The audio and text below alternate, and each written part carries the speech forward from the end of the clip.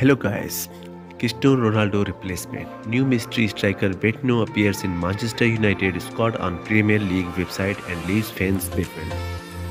Forget Cody Gakpo and Cristiano Ronaldo, Manchester United fans as the Red Devils have found them as a, a new striker. Well, that's what the Premier League website seems to suggest anyway.